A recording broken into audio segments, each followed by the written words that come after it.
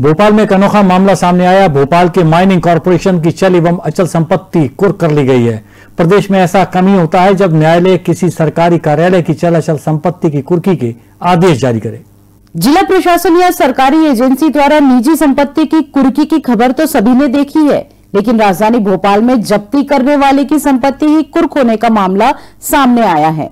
यहाँ न्यायालय ने माइनिंग कॉरपोरेशन की चल अचल संपत्ति की कुर्की करने के आदेश दिए हैं।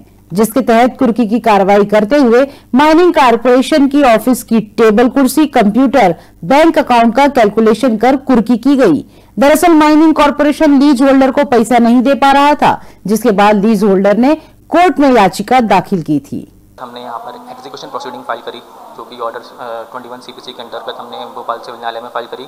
हमारे वकील साहब द्वारा फ़ाइल की गई। यहाँ पर भी स्टेट माइनिंग कॉरपोरेशन की ढीरा डाली को देखते हुए स्टेट आ ही नहीं रहे थे अपीयर ही नहीं होते थे, जवाब नहीं देते थे।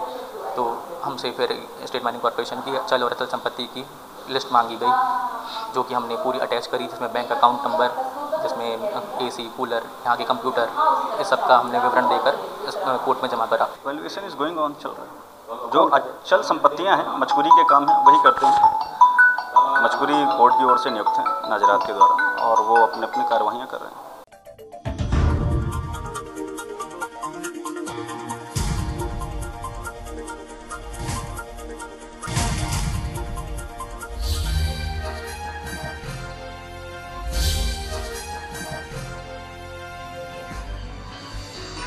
आप देख रहे हैं दखल न्यूज़।